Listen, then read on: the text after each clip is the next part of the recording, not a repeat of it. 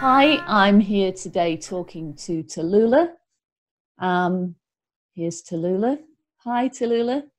Hi. Um, I wonder if you can just tell us a little bit about yourself. Okay, so my name is Tallulah Holmes. I'm 11 years old and I'm going to start secondary school in September this year. And I love cats. I have three cats. Well, two cats and one kitten. And I love them very much. That's very cute. I think I just saw your cat uh, before we started recording. Would you recommend to your friends um, Educare Small School? Would you recommend the school to them? Yes, I would. And I have to many of my friends. Why would you? Why would you? What would you say about it to recommend it to them? Well, I would say that it's really fun and it's a small school, so you get more attention and you get more help because they're smaller classes, smaller year groups, smaller school in general, and um, the teachers are all really nice, and we have no homework. That seems a big feature, the no homework. Uh, pretty much everybody's mentioned that so far. yeah, Zoe, I, I've told Zoe about the school like maybe a thousand times or something, and she every time she says, "I wish I could go to your school." even if she couldn't, even if her parents said yes, because she's in secondary school now. But like she says, I'm really lucky to go to Educare, and I think so too. That's great. That's great. What does it feel like to be a part of a small school? It's nice because you get more attention and you can, instead of making loads of friends who are just like mild friends, you can make some really, really good friends and develop bonds. And and it's and it's nice to be in like a small group because you can work with your friends for some things and it's easy to put like groups together and stuff. And you get a lot more help if you, you get a lot of help. Sorry interrupting you help if you get stuck because like in some schools there's so many kids that they can't help everyone is there is there anything that happens at Educare that you feel makes a difference to your life outside of the school, at home or wherever? Well, there's movement circle and quiet time and Alexander technique in general, which like it's not just to be used inside school, it's for everyday life to try and help you. And I'm probably much better off than I would be if I hadn't had an Alexander technique.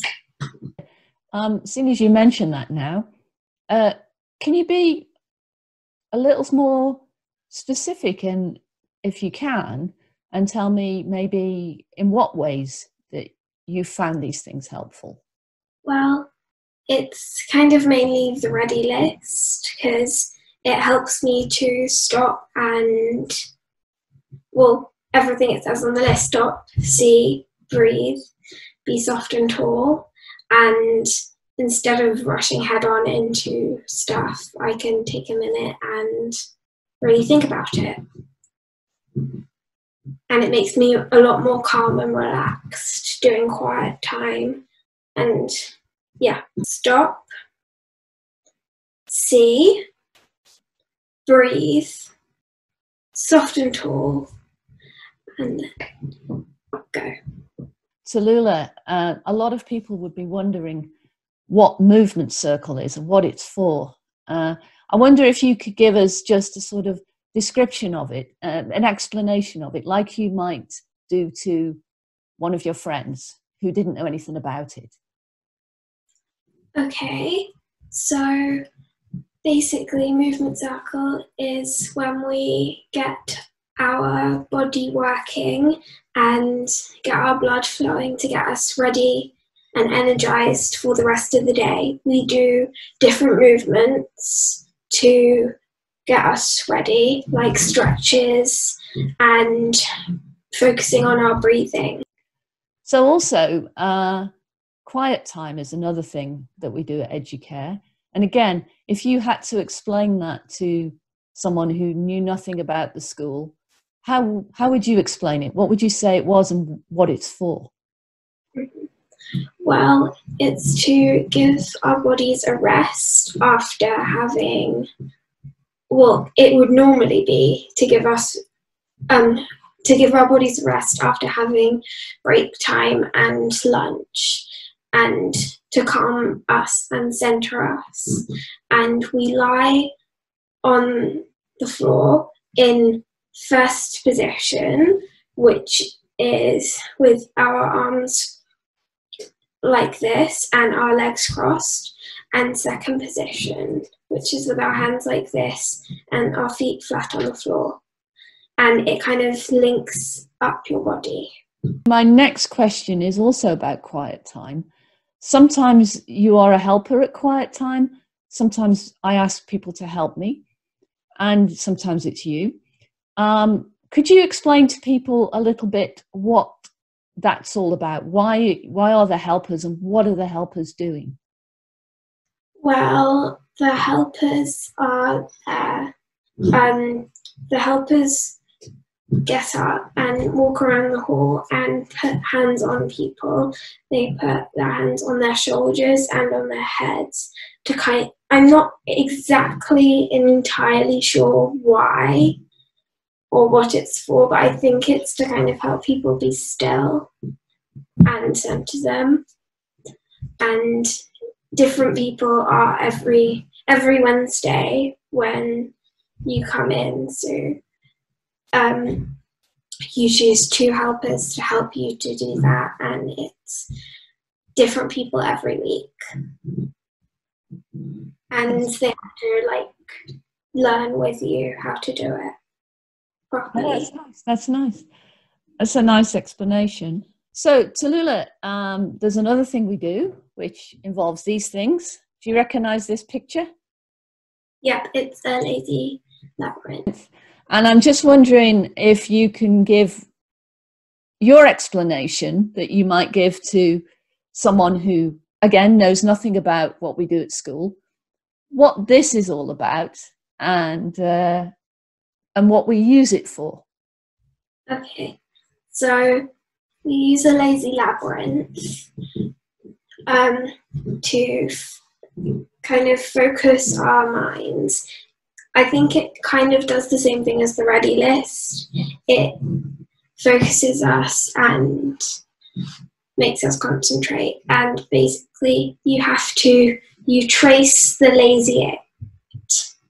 You trace the lazy eight first, go up and left, and then you continue going round, and then you um, use both hands and start at the entrance of the labyrinths, and you go through to the middle and then you come out and it focuses you and helps you to concentrate. Okay. Uh, actually, just an interesting question is do you feel that when you do it?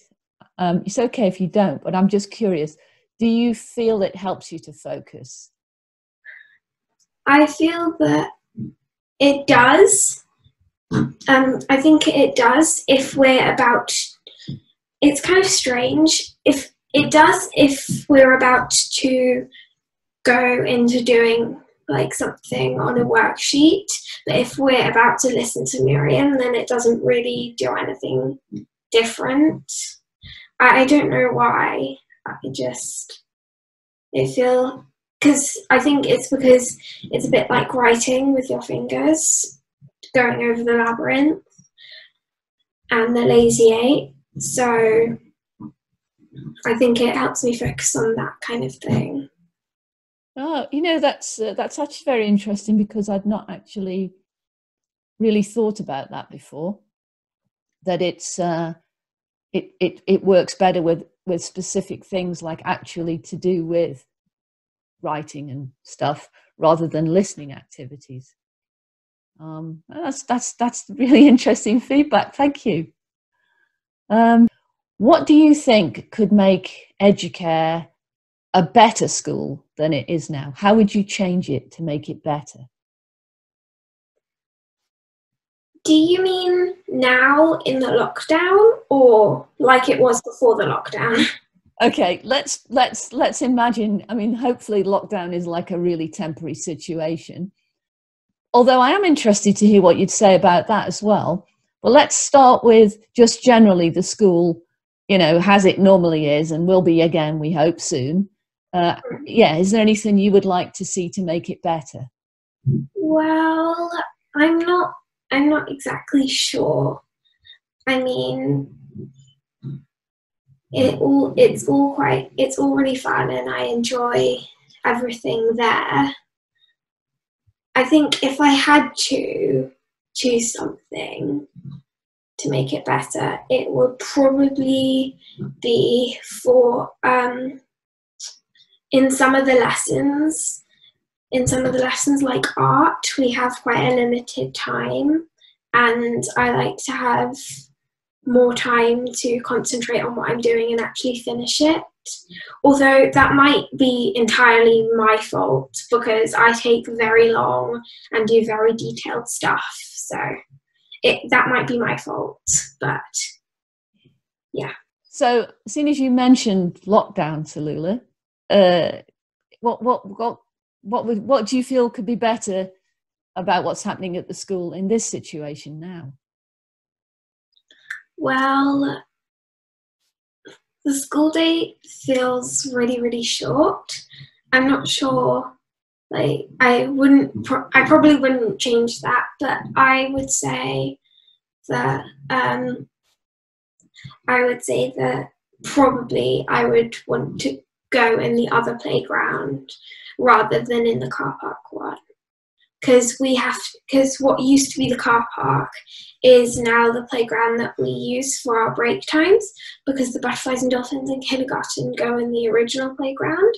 And i'm not exactly i'm not exactly sure why we can't go in there because because it's free. Because i'm in the afternoon group and Butterflies and Dolphins in the kindergarten are only in the morning group. So I don't see why we can't use the original playground. There's a lot more stuff in there, like the mount and the quiet area and the metal house. So there's and there's a lot more space. So Tallulah, you you've already told us you're 11. You're about to leave Educare, which I'm very sad about and um, but I'm also pleased for you, happy for you. What would be? I don't know what school you're going to, but if you could have a magic wand and invent or create the ideal school for the future for you, what would that school be like? Well, let's see. I mean, I'm going to the Kingston Academy, which is actually quite close to Educare. It's right next to Fernhill, I think. Um, yeah, and I've when I went to visit other schools um, last year, in September last year, I went to visit TKA, Teddington, and Greycourt, and I liked um, I like TKA except from one thing. I mean, there's so many corridors and doors and classrooms, and it's quite confusing. Whereas in Teddington, it's a huge open space. There's like two corridors in the entire building because most of it is entirely open and the inside looks kind of like um, and there's all beams going up everywhere so it looks kind of like a tree on the inside and i think if i could have an ideal dream school, it would probably be TKA, but inside the Teddington building. It's confusing, kind of. But uh, what about what's done at the school, though? You know, the activities of the school as well as the school building. But that's that's the thing that I like about TKA. They have all sorts of sports activities and things, and they have art clubs, choirs, orchestras, and really good lessons. They're really fun. So, yeah. Because I went, when I went, we got to see, um, when I went to look around the school, um, we looked into we went into classrooms and things, and there, there weren't people working in the classrooms, but they'd set up kind of things that maybe the sorts of things that they do, like stuff with microscopes in the science lab and like chemistry that you could try out for yourself and stuff like that. So, yeah. So, um, what do you hope you'll get from this school for the rest of your life? Um, I'm not. I'm not exactly sure. I want to be better at science, and I want to do more chemistry and stuff like that. Because I only really get to do like proper chemistry stuff that they would teach in secondary schools and universities and stuff. I've actually done some university chemistry stuff because my godfather is a science teacher and his wife is as well. So they've done loads of stuff with me and that's really fun. But I want to actually do more science stuff. Mm. So you're going to be a scientist of the future, hey? Maybe. Maybe. So, Tallulah, tota what do you think that you will remember from Educare for the rest of your life? I'm not sure what I will remember, but I I know what I want to remember. I want I want to remember definitely the ready list and stuff that um, and stuff that you've done like helpers stuff like hands-on stuff that you've done with me because like that really helps in educare and i don't see why it can't help when i'm in secondary school or university when i'm grown up.